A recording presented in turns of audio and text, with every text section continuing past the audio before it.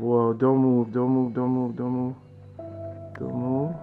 Remember that a photo shoot is nothing without a great subject, and great subjects are sometimes in great demand. So when one contacts you with a possibility to shoot, you have to sometimes get up and go. If this is the case, careful planning can sometimes go out the window. Case in point is the photo shoot I did with Bend Not Break. It was something that had been planned for a while, but because my subject lives out of town, the actual location was not scouted, seen, or even shot in at any time before. But I still managed to get some great shots out of the shoot anyway. So the question is how, you might ask? Well, by relying on a couple of attitude principles that I think all photographers should think about when shooting boudoir, you can do the same thing. So, without further ado, here they are. Number one, have the right attitude. I think that it's so important to understand that due to the fact that the shoot is so improvised and out of the blue, not only must you forgive yourself for making mistakes, but also understand that things might go wrong the whole way during the shoot because you have not necessarily had a ton of time to prepare. You might take a whole bunch of shots without the right shutter speed or crazy high ISO, even though there is a ton of light. Embrace these mistakes and realize that one, even mistakes can bring some cool artistic options. And two, forgiving yourself will allow you to move on and get the shots you need. Two, decide quickly. Indecision is your worst enemy. First and foremost, if you get a call to go and shoot, do not worry about the fact that your batteries are not charged or that you don't have the right lens and you got a weird focal length. Do what you have to do with what you got and go out there.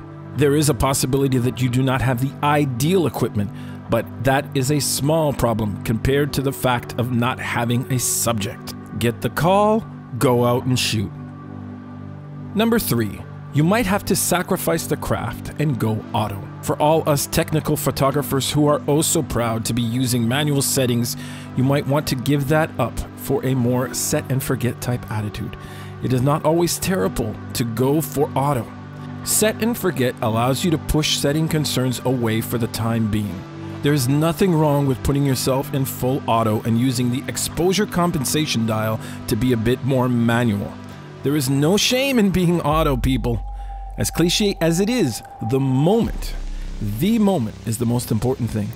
No one will look at your photo and say, hmm, that shot was taken in auto. Number four, trust your model. I strongly advise people to give in to the expertise of the model. Ask her or him to offer you some ideas and go with the flow. You can ask for certain poses, but you might want to let yourself be more open, especially to a person who spends many days trying to get the right pose for the photographer. An improvised boudoir photo shoot is a great deal about letting go. Number five, and this one's a bit more technical the window is your best friend. A lot of photography is about light. Light is so important when taking photos. What kind of light? Where does the light come from? Where does it interact? No matter what shoot you are on, you cannot escape the fact that your photography is only as good as the light source that you have. That is why, within the context of a quick and unplanned photo shoot, the window becomes your best friend. Gravitate toward a window. It not only is a source of the best light around, natural light, it is also a perfect quick fix.